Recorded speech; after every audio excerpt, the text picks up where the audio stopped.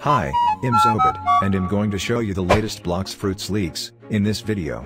Stick to the end to find out how to get NANI? Dragon in the next update. Map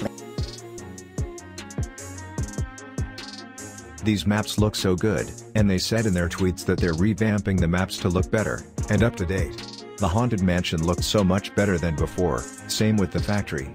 I wish they would make more canon stuff to One Piece, though.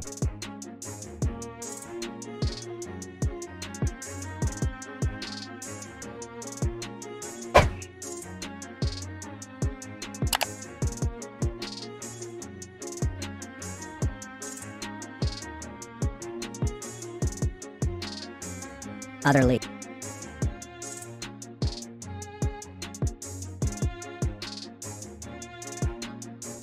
These new GUIs look fire.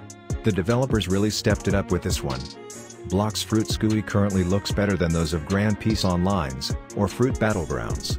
Not to mention to see how True Triple Katana is getting reworked, same with Trident. New scrolls are coming to the game, probably for upgrading, or maybe Fruit Awakenings. Now, when upgrading your weapons, you might need to sacrifice fruits, which will be crazy to do. Imagine having to sacrifice a dragon. Again, I love the GUI.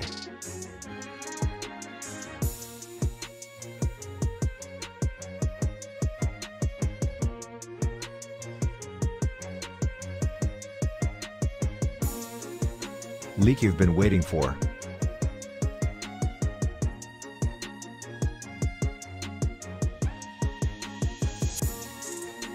This is the leak that I teases in the thumbnail and at the beginning. The theory I have is that you may have to do a quest to get free dragon. For example, the quests you might have to do is, kill 50 bosses in 3 hours, or kill 50 players in a public server without dying in a short amount of time.